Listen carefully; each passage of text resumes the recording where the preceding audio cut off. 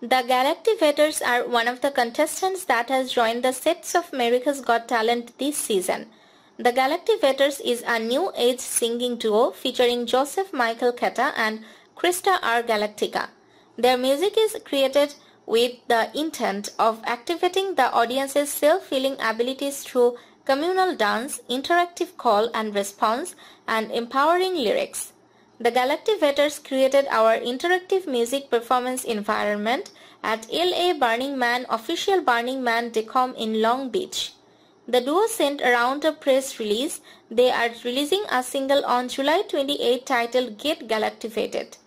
The two said in the press statement, We are so grateful for the opportunity to spread our musical medicine to the people of planet Earth. This song was made with the intent of galactivating the listener and unlocking your superpower, super friends, alrighty then.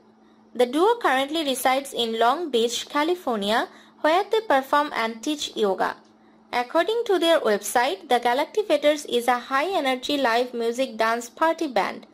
The duo is set to release a new song called Get Galactivated on July 28, 2023.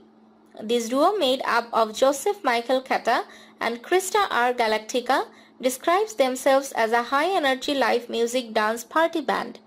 They are from Long Beach, California where they host events like free yoga on the beach and perform.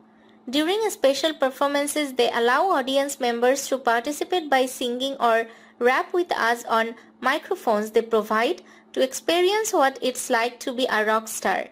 They also have an interactive music performance environment available. They set up a music stage for anyone to unleash their inner rock star with instruments to play and microphones to sing in and musicians swapping in and out.